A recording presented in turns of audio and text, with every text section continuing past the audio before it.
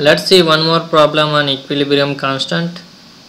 Calculate the equilibrium constant of the reaction.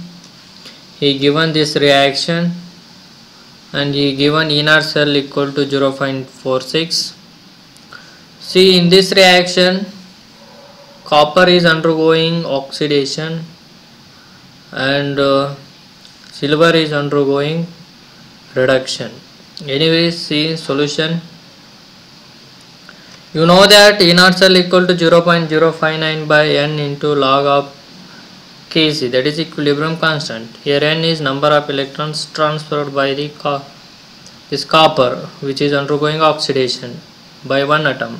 See copper is undergoing oxidation. Two electrons will be liberated by this one atom of copper.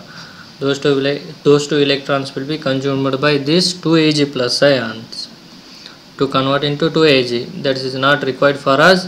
What is required?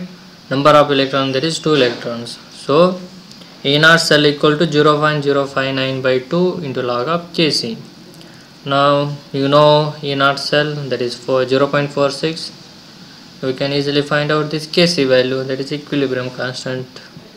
Substitute that 0.46 now if you take this 2 this side it will get multiply and if you take this 0.059 this side it will get divide. So log kc equal to 2 into 0.46 by 0.059 when you simplify this one you will get 15.6 now take this log this side because you want kc value.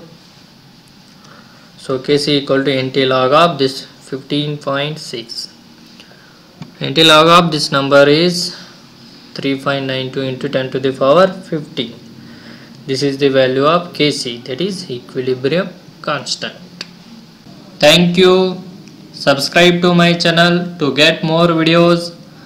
Like the video, share the video and spread worldwide to help others.